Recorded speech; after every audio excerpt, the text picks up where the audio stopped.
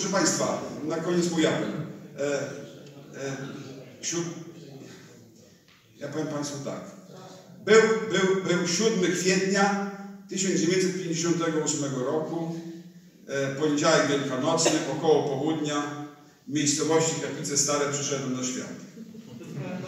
E, I są na to świadkowie, natomiast ponieważ był to pierwszy dzień, drugi dzień Wielka, Wielkiej Nocy, urzędy nie pracowały, oficjalnie mam pisane 10 kwietnia, ale tak naprawdę, ale tak naprawdę to, to urodziłem się 7.